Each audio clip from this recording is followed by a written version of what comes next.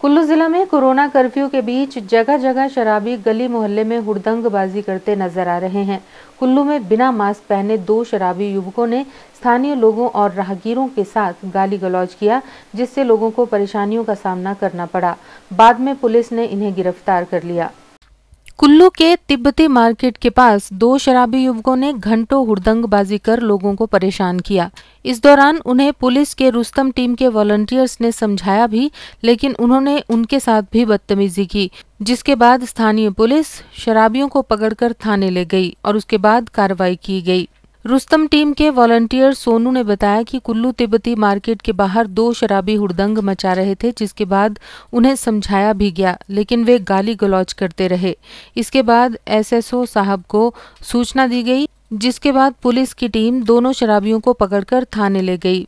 उन्होंने बताया कि रुस्तम टीम के वॉलंटियर्स कोरोना महामारी के बीच बाज़ार में दुकानदारों तथा स्थानीय लोगों को जागरूक कर रहे हैं।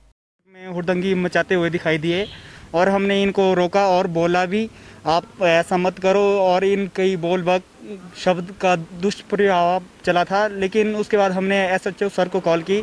उनने तुरंत इस पर कार्रवाई करते हुए यहाँ पे पुलिस की टीम भेजी और इन्हें यहाँ पे पकड़ा गया है।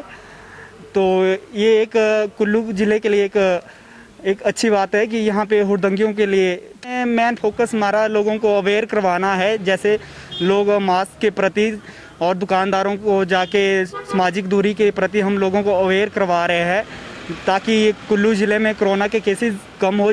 यदि लोगों को ज़्यादा जानकारी होगी तो तभी हम इस महामारी से जीत हासिल कर सकते हैं। इसलिए हम लोगों को कोरोना महामारी के प्रति ज़्यादा से ज़्यादा जानकारी प्रदान कर रहे हैं। सिटी चैनल के लिए कुल्लू से दिलीप ठाकुर की रिपोर्ट।